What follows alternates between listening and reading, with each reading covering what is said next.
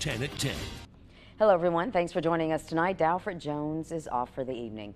A Grand Coteau police officer in the spotlight has officially been fired. The city council unanimously voted to terminate him from the department last night.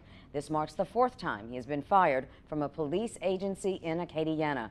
His firing comes nearly two weeks after the officer threatened to file a lawsuit against the city. News 10 Britt Lofaso joins us now in the studio to explain what led up to his termination. Britt.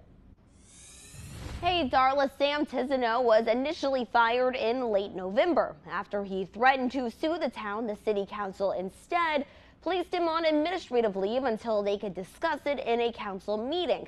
Just last night, the council made his termination official, and that lawsuit, it still is yet to be filed.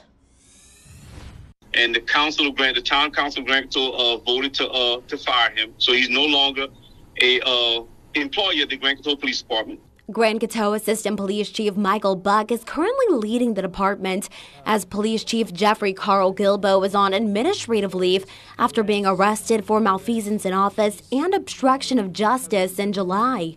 It was Assistant Chief Buck who initially fired Officer Sam Tisano. Uh, Mr. Tisano had, had uh, become what's called timed out in police work, where uh, he had not attained a POST certification and could no longer work and be insured by the town's insurance. In a News 10 investigation, we learned Tisano had also been fired from Opelousas Police and St. Martinville Police.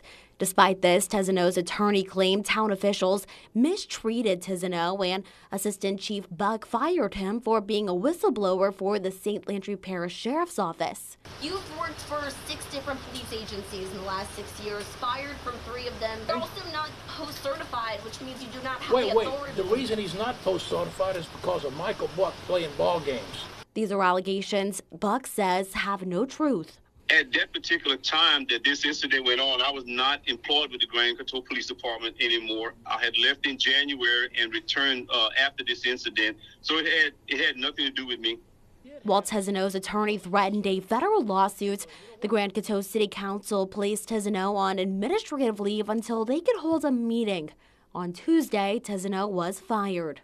At the uh, December 12th council meeting, I recommended that Mr. Uh, a dispatch at our department, be dismissed from the police department because of his actions that were not conducive to good police work.